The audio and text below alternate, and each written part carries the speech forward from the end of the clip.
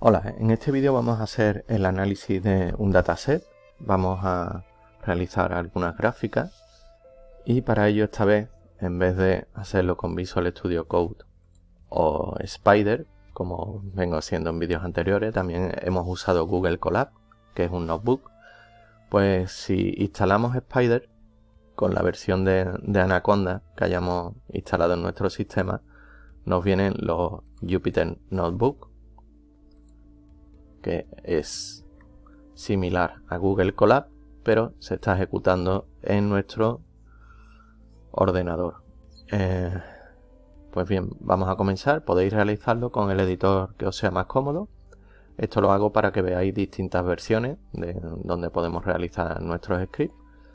Y vamos a comenzar con Jupyter Notebook. Si quisiéramos abrirlo, pondríamos Jupyter Notebook en nuestro buscador del sistema y aquí tendríamos el acceso a esta aplicación que nos abriría una consola como tenemos aquí para ejecutar el notebook y nos abriría el navegador para empezar a realizar nuestro script.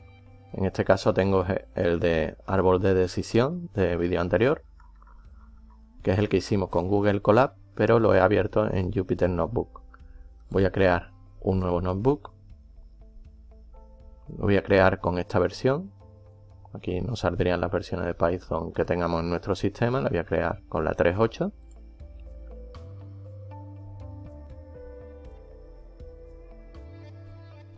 Me ha dado un error de kernel.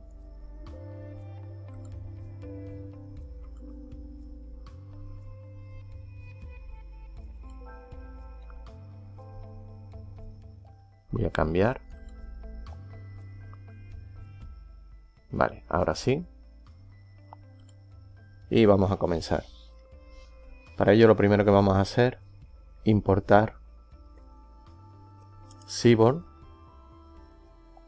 Es una librería gráfica basada en Matplotlib. Y esta librería, una de las cosas que, que trae son ejemplos de dataset para practicar. Voy a ampliar un poco el tamaño. Así creo que está bien. Y vamos a traernos un dataset que es de propinas. Para ello ponemos sns.load dataset y aquí en los paréntesis indicamos tips. Podéis investigar en la documentación oficial los ejemplos que trae esta librería y practicar con ellos. Vamos a mostrar algunos aleatorios. En vez de poner head o tail, como ponemos en, en algunos ejemplos, para la cabecera o la cola de este dataset, vamos a poner que nos traiga cinco ejemplos al azar. Pulso mayúsculas intro. Y aquí tenemos 5 al azar. Y vemos aquí el identificador que ha cogido varios y este es el dataset donde nos indica el total de la cuenta, la propina, quién realizó el pago, si era fumador o no. Aquí, bueno, dividimos entre masculino y femenino, si era fumador o no, qué día, la comida, si fue cena o comida, y cuántas personas. En este caso, vemos que ha coincidido que eran dos personas. Vamos a ejecutarlo otra vez para ver que va variando al azar. Y aquí sí tenemos ya uno de 4 ejecuto otra vez. Aquí tenemos uno de 6 otro de 3 la mayoría estamos viendo que nos da de 2 pues bien vamos a continuar. Lo primero que vamos a hacer cambiar el nombre de las columnas para si estamos en español sentirnos más cómodos. Vamos a poner aquí nombre columnas es igual. Y ponemos aquí cuenta, podríamos poner cuenta o total como nos venga mejor. Vamos a poner por ejemplo total. Sería el total de la cuenta. Propina sería tip sexo. Vamos a poner aquí fumador. Vamos separando por coma, estamos haciendo una lista, el día, y aquí podríamos traducirlo como turno o turno de comida, vamos a poner turno, y aquí número de personas.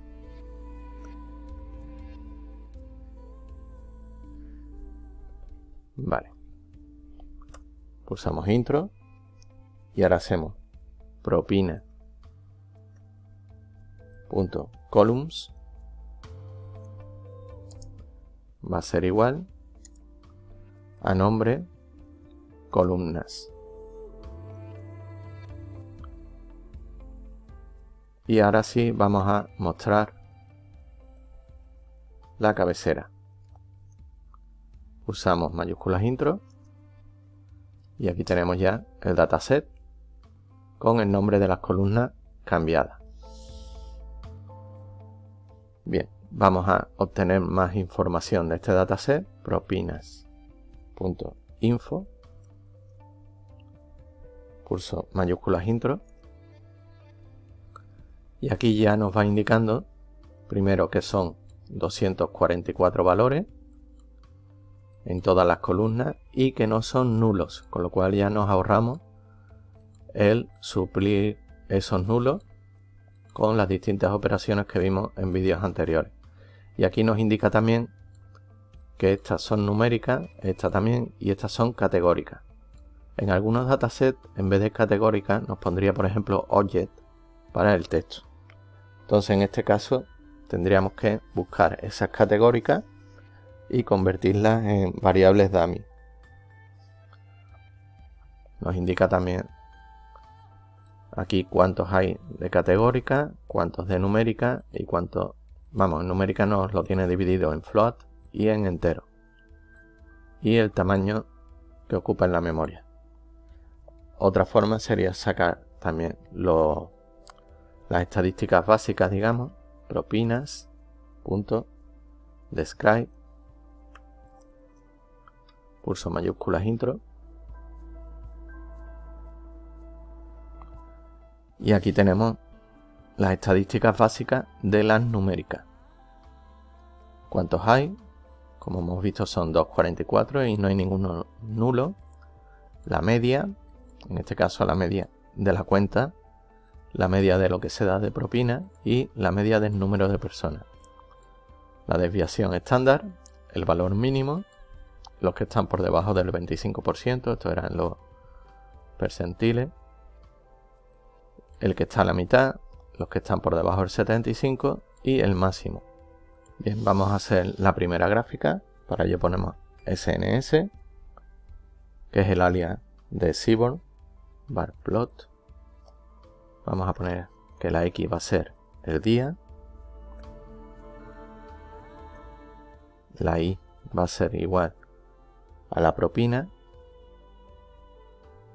debemos de escribir bien los nombres de las columnas para estas variables que vamos a usar. Y los datos va a ser propinas. Y el who, que esto va a ser que nos lo clasifique por sexo. Vamos a poner con who y sin who para que se vea la diferencia. Mayúsculas intro. Y aquí tenemos la primera gráfica de barra donde estamos por día y propina y va indicando quién ha pagado más por sexo. Voy a quitar who, hago control X, vuelvo a hacer. Esta vez control intro para que no haga otra celda. Y aquí tenemos por día qué propina se da Estamos viendo que el día que más propina se da es el domingo. Vuelvo a poner el who. Y en vez de por sexo, podríamos poner también por fumador. Y ver si dan más propina los fumadores o los no fumadores. Aquí, por ejemplo, serían los fumadores.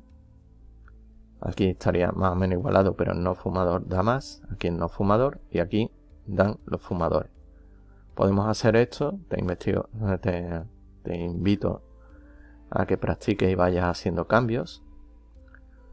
Y vayas viendo también, por ejemplo, por número de personas. Vamos a hacer esta gráfica a ver lo que nos sale. Y aquí vemos por número de personas. Y evidentemente a más personas normalmente nos da más cantidad de propina. También podríamos poner aquí que en vez de propina, veamos el total, lo que es la cuenta total, pulso control intro. Aquí evidentemente hay una cuenta total mayor al número de personas. Vamos a poner aquí por sexo otra vez. Y aquí vemos el total de la cuenta por días y por sexo. Vale, vamos a hacer otra gráfica, la gráfica de, de bigotes, el box plot. Y aquí vamos a poner lo mismo, x igual a día. La y vamos a poner propina.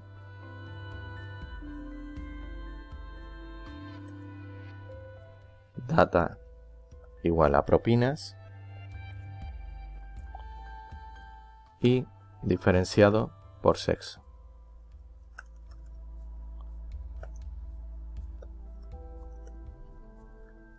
Mayúsculas intro. Y aquí tenemos la gráfica de Bobplot separadas por día y por sexo. Aquí nos indica la media, o, o sea, el valor que está justo en medio, no es la media, sino la moda para cada gráfica nos indica dónde se concentran la mayoría de los datos en este caso entre el 2 y el 4 por lo que vemos aquí. El valor mínimo, el valor máximo y aquí tenemos algunos valores que digamos están fuera de los, de los límites. Tendríamos que ver por qué están esos valores tanto por arriba como por abajo como vemos aquí.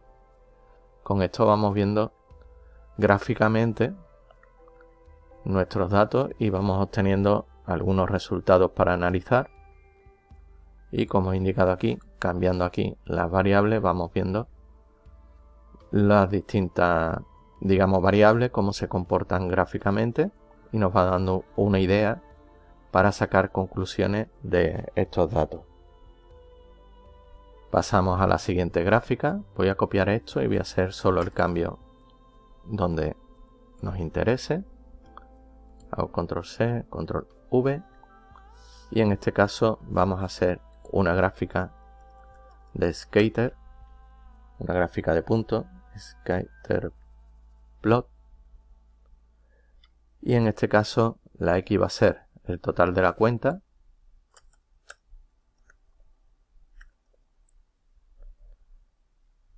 y la propina. Diferenciamos por sexo y le ponemos el data propinas, mayúsculas intro. Y aquí tenemos la gráfica donde nos indica que a mayor cuenta, podríamos aquí hacer una regresión, luego lo vamos a hacer, a mayor importe de la cuenta, mayor propina. Voy a quitar esto para que se vea de la otra forma hago control intro y aquí tenemos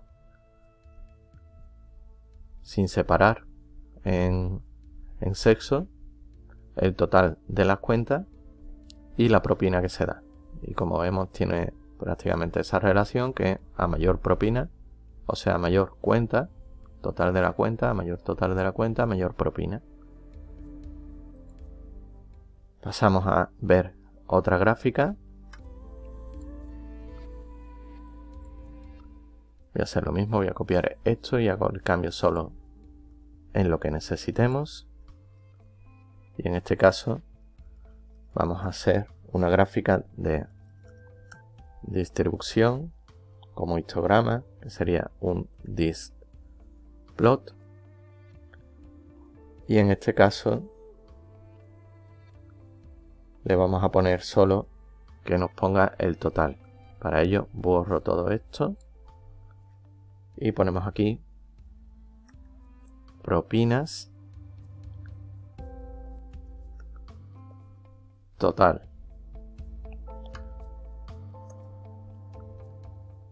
Aquí tenemos la gráfica. Le voy a poner aquí hist false. Ahora vemos qué diferencia hay. Y lo que nos hace es la gráfica en línea sin poner el histograma. Y si ponemos aquí true, ejecuto de nuevo, nos pone esa misma línea y el histograma, donde nos va indicando el total de la cuenta. Y aquí nos sale en densidad. Podemos cambiar aquí y poner, por ejemplo, propina. Aquí nos va indicando la propina y la densidad. Vamos a hacer ahora otra gráfica que sería un mapa de calor. Como vemos, cada gráfica nos va indicando algo concreto que nos sirve para tomar decisiones y, ver qué es lo que está pasando con estos datos. Pasamos al hitmap y en este caso sería sns.hitmap, el mapa de calor propinas y le pasamos la correlación. Vamos a poner not igual false y ahora cambiamos a true para que se vea la diferencia. Mayúsculas intro. Y aquí tenemos cada variable enfrentada con otra variable cuando están consigo misma. Es la diagonal. Propina con propina total con total y número de personas con número de personas. Y vemos aquí que, por ejemplo, propina con total tiene una fuerte relación. Aquí vemos lo mismo. Y el número de personas también tiene una fuerte relación con el total. Evidentemente a más personas el total de la cuenta sube, como estábamos viendo en las gráficas anteriores. Voy a quitar lo de el false aquí y vamos a poner true. Y lo que hace es ponernos los valores. Y vemos cuál es la que tiene la correlación más fuerte. Pues vemos que la propina con el total es la que tiene mayor relación como ya habíamos visto en gráficas anteriores. Vuelvo a poner aquí el info de propinas y vamos a empezar a trabajar ya con el dataset. Propinas.info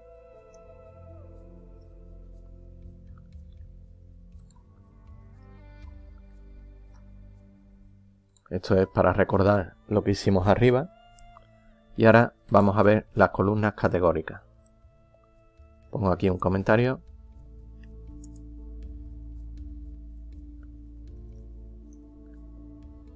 Y vamos a ver cuáles son estas columnas.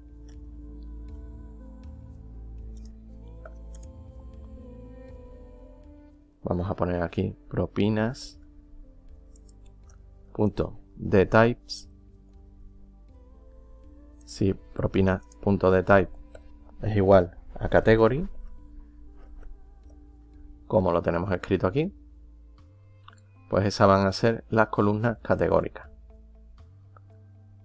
Vamos a mostrarlas. Pulso mayúsculas intro.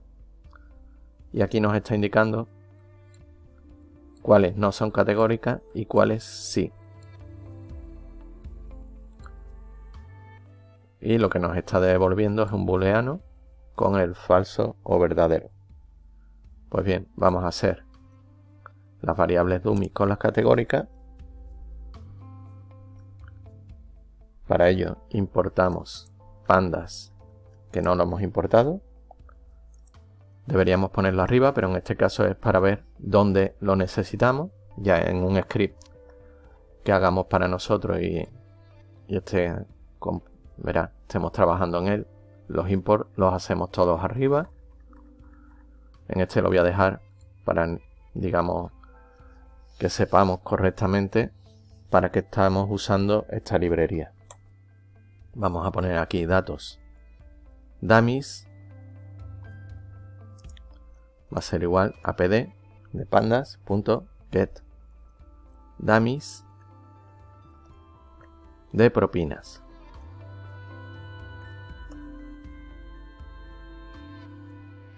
Vamos a mostrar datos dummies.columns. Pulso mayúsculas intro. Y ahora vemos ya que nos ha separado sexo, por ejemplo, en dos columnas. Fumador nos la ha separado en dos columnas. Los días nos la ha separado también. Y el turno de comida nos la ha separado también. Tenemos ya nuevos valores. Eh, una cosa a deciros también, si en vez de un notebook, ya sea en Google Colab, DeepNote o Jupyter, estáis trabajando, no tendréis problema al ponerlo tal y como lo pongo yo aquí. Pero si estáis trabajando, por ejemplo, con Visual Studio u otro editor, tendréis que poner aquí print lo que queráis imprimir encerrado entre corchet, eh, paréntesis. Si pulsamos intro, lo ves, el valor es lo mismo, pero en el Jupyter Notebook tenemos esta facilidad y no hace falta ponerlo. Ojo si te da algún problema o un fallo que viene por eso. Vale, una vez que tenemos las columnas dummy, vamos a empezar a preparar el modelo para las predicciones. Y para ello vamos a importar sklearn vamos a importar linear model. Y de aquí importamos la regresión lineal. En este caso hemos visto, sobre todo aquí en el skater, que prácticamente es una regresión lineal, con lo cual podríamos trazar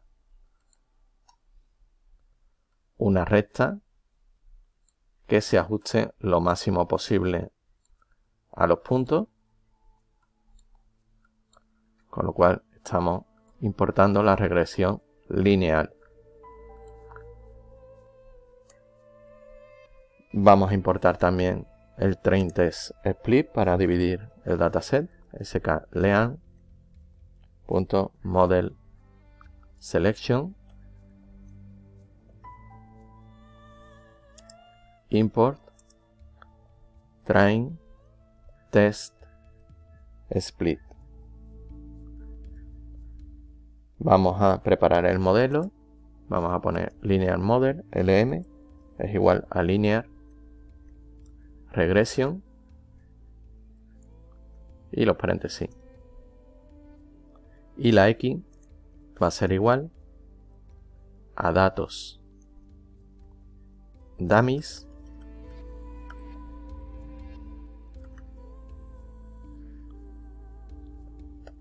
pasándole todo lo que tenemos aquí,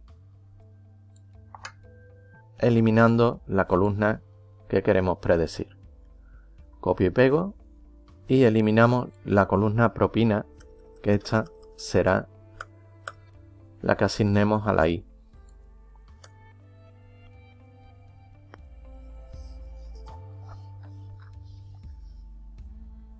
La i será igual a datos dummies y ponemos aquí propina.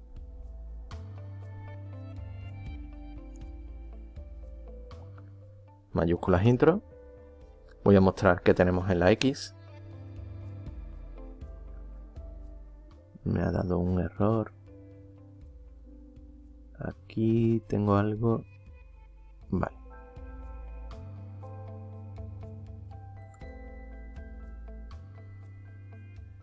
Voy a verificar, por lo pronto tengo tres corchetes que no hacen falta. Serían dos nada más. Voy a abrir, a ver que esté todo entrecomillado y con las comas de separación. Vale, en principio parece que sí. Vuelvo a pulsar, esta vez control intro. Vale, ahora sí.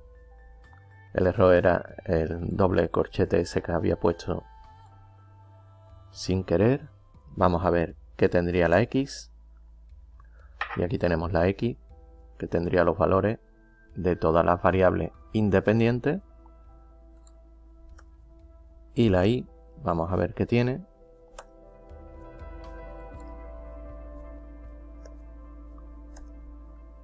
Y tiene los valores de la variable independiente. Vale. Vamos a borrar esto.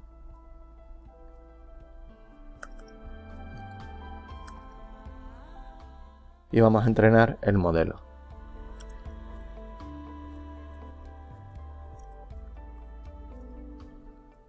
Aquí LM, que es el nombre que le dimos al modelo, fit.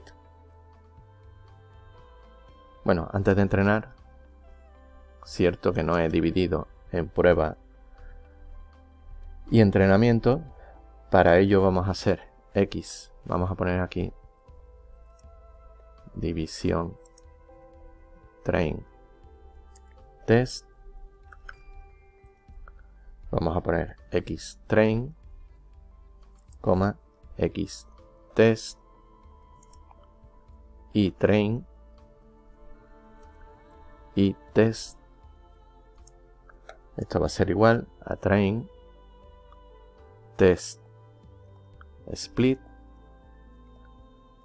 la X, la Y, test size, le vamos a decir que sea el 20%, para ello ponemos 0,2 y random state para que a nosotros siempre nos dé los mismos valores, ponemos ahí un 1 mayúsculas intro, ya tenemos la división. Y ahora sí, entrenamiento del modelo, lm, que es como hemos llamado al modelo, punto .fit y ponemos x. Train. Y train. Mayúsculas intro, no ha dado ningún problema. Y ahora vamos a poner la predicción. Y la predicción. Vamos a poner que es igual a lm.predict pasándole esta vez las pruebas. Xtest aquí como vimos arriba le pasamos el entrenamiento y aquí le pasamos las pruebas. Mayúscula intro. Y ahora vamos a crear un dataset con el valor real de la i y la predicción. Para ello ponemos aquí comparación y vamos a poner que el resultado sea igual. Ponemos aquí un diccionario donde indiquemos real y le pasamos. Y test y predicción.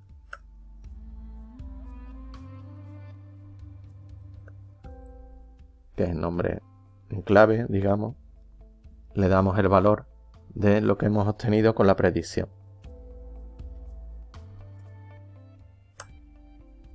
ponemos ahora que el resultado es igual a un panda data frame de resultado, que es la variable anterior. O sea, estamos asignando a una variable dándole el mismo nombre para no complicar. pero le asignamos el valor del anterior, con lo cual a partir de aquí, resultado ya no es este resultado, sino que es el data frame del diccionario que teníamos aquí. Esto aquí no son paréntesis, es una llave. Y aquí cierro con otra llave que es el diccionario que estamos creando y le pasamos al data frame. Y ahora vamos a ver resultado punto head vamos a ver por ejemplo los 10 primeros pulso mayúsculas intro y aquí tenemos el valor real y la predicción. Valor real y predicción. Valor real y predicción. Algunos, como este por ejemplo, se ajusta bastante. Hay otros que tienen un poquito de diferencia, pero la verdad que se ajusta bastante la predicción al valor real. Vamos a ver una evaluación del modelo. Y para ello vamos a sacar la métrica del error absoluto medio que lo podíamos obtener también de metrics import y vamos a importar min absolute error. My que es la abreviación de esto va a ser el nombre de la variable le vamos a hacer que se iguala a min absolute error pasándole y test y la predicción. Vamos a mostrarlo. Vuelvo a insistir en que en el notebook lo muestro así. Si estamos con otro editor tendremos que poner print mae para que lo muestre. Vamos a poner simplemente mae, pulso mayúsculas intro y aquí tenemos su valor. Está bastante bien, como indicamos se aproxima bastante y como está próximo a 1, la verdad que es un buen valor y vamos a hacer ahora una gráfica donde nos aparezca el valor real y la predicción.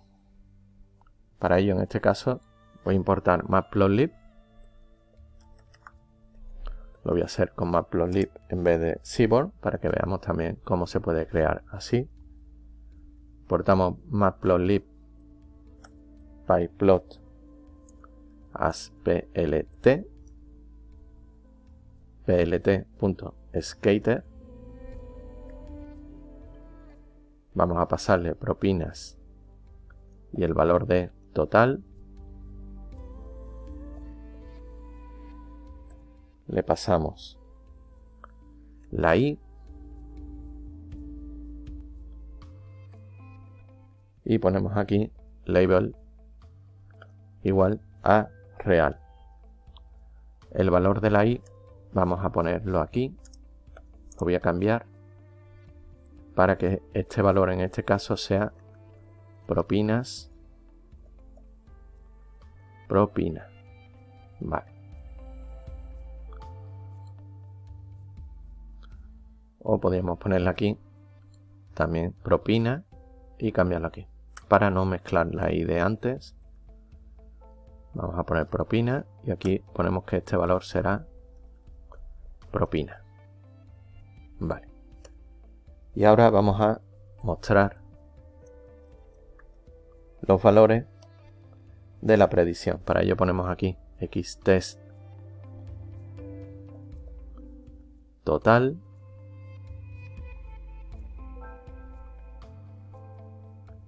y la i va a ser la predicción. En este caso lo vamos a marcar color en rojo y el label va a ser igual a predicción.